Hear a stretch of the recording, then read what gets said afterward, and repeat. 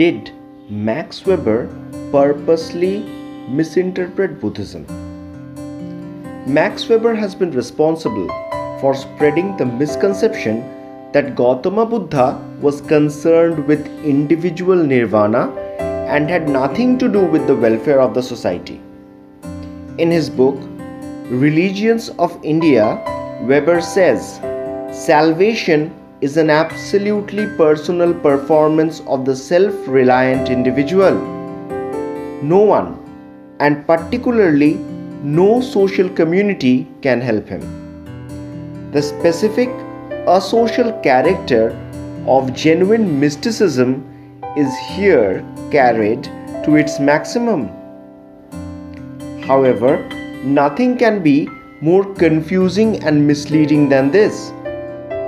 Unlike other religions, Gautama Buddha does not believe either in a revealed text or a creator God or the one whose grace leads to salvation. So, nirvana or salvation or perfection can be attained by man solely through his efforts by understanding the Four Noble Truths and practicing the Eightfold Path. Gautama Buddha emphatically says that enlightenment is not a person but a state, and enlightenment is an achievement. In the Dharmapada 1 is to 4, Gautama Buddha says one should first establish oneself in what is proper and then instruct others. Such a wise one will never become stained. In other words, if the personal life of a person is immoral and questionable, he is not fit to serve the society. As long as a person is practicing the Eightfold Path and seeking nirvana, that is perfection, he has to be engaged in individual, personal, and private effort. However, once he believes and achieves enlightenment, he voluntarily participates in the worldly activities with detachment. He becomes the one who, according to the Bhagavad Gita, is Jivan Mukta Gautama Buddha himself can be cited as a paradigm. When Gautama Buddha was doing penance to achieve nirvana, he did so all by himself, remaining completely aloof and cut off from the society. But once he attained enlightenment, he rushed to Sarnath to share his newly acquired knowledge and technique of the middle path with his four friends in particular and with the society in general.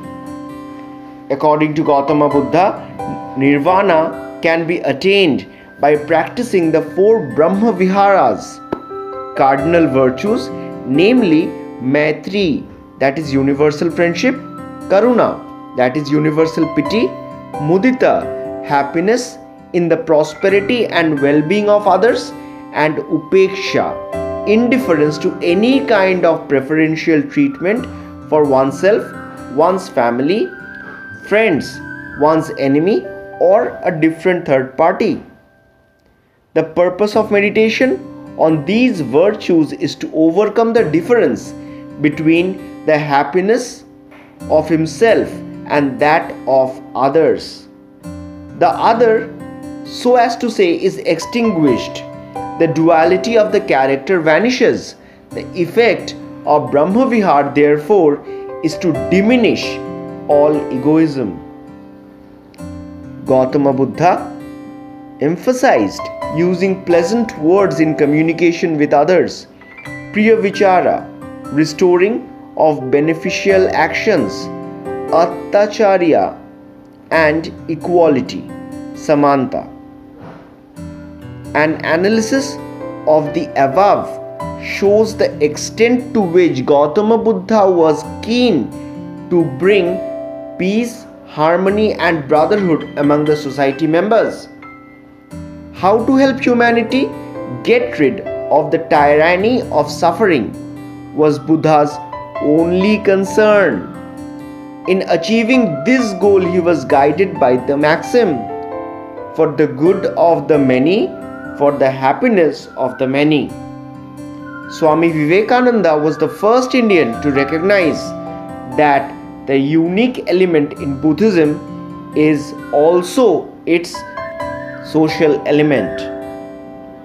So, before you read the Western philosophers, their views and comments, please feel free to divulge more into our Vedic texts to know your Sanatan culture better. Thank you.